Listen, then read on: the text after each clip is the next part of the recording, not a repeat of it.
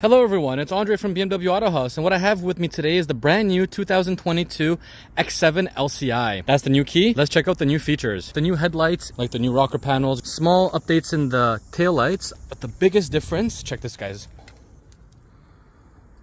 Beautiful interior, but my favorite is the iDrive 8.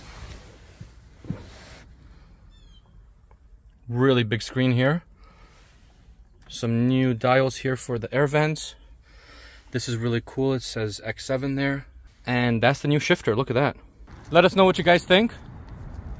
Are you a fan of it? Do you love it? Do you hate it? I think it looks really cool.